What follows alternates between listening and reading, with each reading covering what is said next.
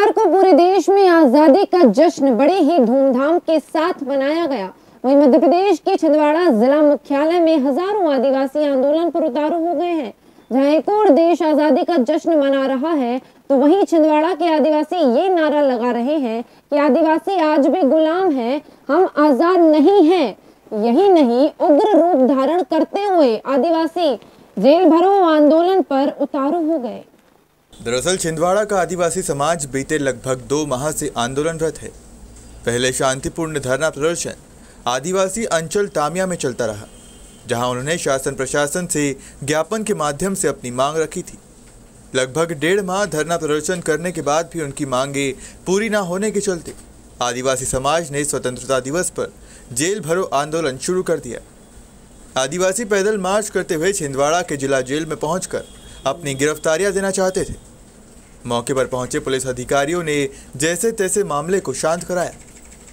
आदिवासी महासभा के नेता प्रहलाद कुसरे ने स्पष्ट कहा कि आदिवासी आज़ाद नहीं है। उन्होंने कहा कि लगभग दो माह हो चुके हैं। तामिया में पदस्थ थाना प्रभारी प्रीति मिश्रा ने आदिवासी समाज की बेटी के विवाह समारोह में जाकर देवी देवताओं का अपमान किया और दुल्हन बनी आदिवासी बेटी के साथ बदतमीजी की। समाज के लोग भोजन कर रहे थे। उनके दोना पत्तलों को लातों से फेंका। जिससे पूरा समाज आक्रोशित है। दो माह बीत चुके हैं, हम शांतिपूर्ण ढंग से संबंधित थाना प्रभारी पर एक्ट्रोसिटी एक्ट के तहत कार्रवाई करने की मांग कर रहे हैं।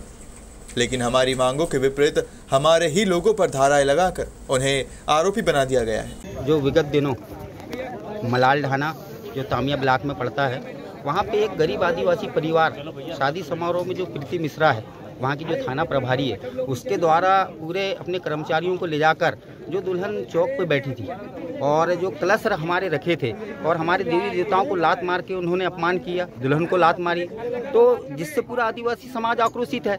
और इसी बात को लेकर विगत दो माह से धरना चल रहा है। शांतिपूर्ण तरीके से धरना हम लोग संचालित कर रहे हैं। और आज ये समाज जो यहाँ पे एकत्रित है पंद्रह अगस्त के दिन, ये इसलिए एकत्रित है कि लगातार ढाई महीने, दो महीने से आंदोलन चल रहा है, पर आज तक के उनके ऊपर जो प्रीति मिश्रा उसके ऊपर कार्रवाई नहीं की गई, जिससे ये जो समाज है, ये समाज बोल रहा है कि हम इस देश में आज़ाद नहीं है।